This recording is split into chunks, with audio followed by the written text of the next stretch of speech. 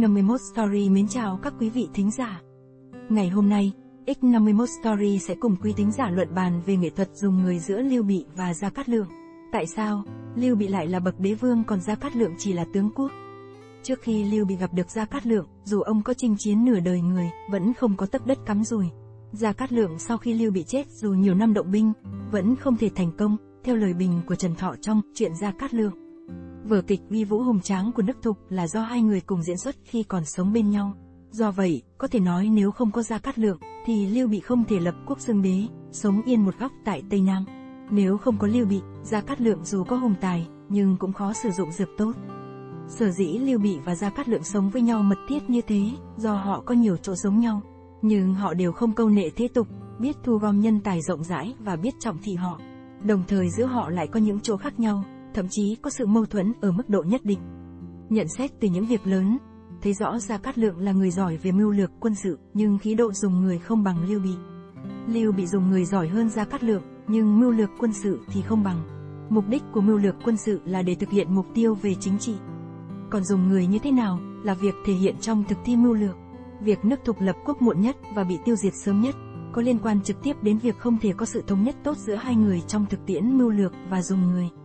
Nghiên cứu sự bổ túc cho nhau và tương khắc giữa hai người, có thể kết luận rằng, Lưu Bị có đôi mắt nhận xét con người cao hơn Gia Cát Lượng, còn Gia Cát Lượng có phương pháp giáo dục bồi dưỡng con người tốt hơn Lưu Bị. Hiểu người một cách chính xác là nền tảng để chọn nhân tài tốt. Người lãnh đạo dù sáng suốt tới đâu cũng có khi nhận xét không đúng nhân tài. Vấn đề là phải giảm thiểu sự nhận xét không đúng và nâng cao trình độ nhận xét đúng. Lưu Bị nếu so với Gia Cát Lượng thì trình độ nhận xét đúng cao hơn nhiều. Một dẫn chứng có thể thuyết minh cho vấn đề này là đôi mắt sáng suốt của Lưu Bị đã nhận xét đúng Gia Cát Lượng. Gia Cát Lượng nguyên là một anh thôn phu ở Long Trung vừa làm ruộng kiếm sống, vừa khắc khổ học hành. Tuy có kỳ mưu đại trí, nhưng không hề có một chức tước nào, và cũng không hề có một thành tích chính trị nổi bật nào. Khi từ thứ tiến cử Gia Cát Lượng với Lưu Bị, Lưu Bị không ngại khó, đã ba lần đến viếng Liều Tranh. Sau khi gặp Gia Cát Lượng ở Liều Tranh, bàn về trí thiên hạ, Lưu Bị đoán chắc đây là người có tài năng và xem Gia Cát Lượng là một ông thầy tốt, một người bạn hữu ích. Lưu Bị đã vội mời một người còn nhỏ hơn mình đến 20 tuổi về làm quân sư. Gia Cát Lượng sau khi rời khỏi liều tranh, đúng là điểm khởi đầu cho sự nghiệp hưng thịnh của Lưu Bị. Điều đó cho thấy sự nhận xét con người của Lưu Bị quả hơn hẳn mọi người. Dẫn chứng thứ hai là Lưu Bị trước khi mất vì thấy Gia Cát Lượng yêu ái Mã Tắc đã cảnh báo ông, Mã Tắc thường nói quá sự thật, không thể dùng vào việc lớn, vậy ngài nên kỵ lưỡng. Trong khi đó, Gia Cát Lượng lại đặc biệt xem trọng Mã Tắc dưới con mắt của ông Mã Tắc là một đóa hoa, dùng làm tham quân, mỗi lần mời vào nói chuyện, hai người thường nói thâu đêm suốt sáng. Do nhất định trọng dụng Mã Tắc nên Gia Cát Lượng đã thất bại trong chuyến ra Kỳ Sơn lần thứ nhất. Đôi mắt của Khổng Minh tỏ ra không sáng suốt trong vấn đề nhận xét nhân tài. Sử sách lưu lại, dù ông có khổ tâm xây dựng, nhưng rốt cuộc do nhận xét không đúng, dùng người không thích hợp dẫn đến sau này chi lớn của ông không thực hiện được. Chuyện nhận xét con người và dùng người cố nhiên là quan trọng nhưng việc bồi dưỡng giáo dục nếu bỏ qua thì chẳng khác nào bị tắt cạn ao mà bắt cá, không có lực lượng kế thừa. Lưu bị từ nhỏ làm nghề bán chiếu, bán giày để mưu sinh, thích chó ngựa, âm nhạc, quần áo đẹp, không thích học hành. Sau này khởi binh đánh giặc và lên làm vua, cũng không tích lũy được bao nhiêu học vấn, nên không có tri thức để bồi dưỡng lớp kế cận. Còn Gia Cát Lượng thuộc lò kinh sách, thao lược đầy bụng.